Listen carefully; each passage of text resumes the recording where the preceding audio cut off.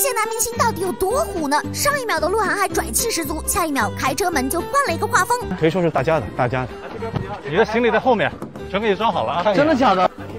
鹿哥应该是内娱用酒开车门第一人吧？杨洋想要戴个口罩，结果发现怎么都戴不上。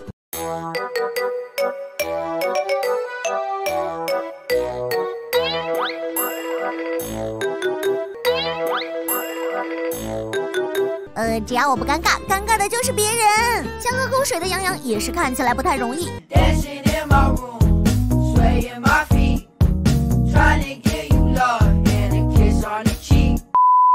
就连做个饭，沙雕属性也暴露无遗。我把白肉下到鸡里边了，因为你要你把猪你把猪肉跟鸡扔一块儿了又。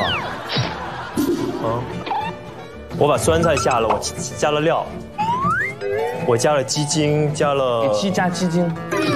提味儿啊！因为酸菜跟鸡弄一起了，酸菜鸡。杨洋，快把你的偶像包袱捡起来吧！而王一博和张艺兴在节目里喝个水，也是上演了一出憨憨行为。哇，这个杯子漏水！哇，这个杯子漏水。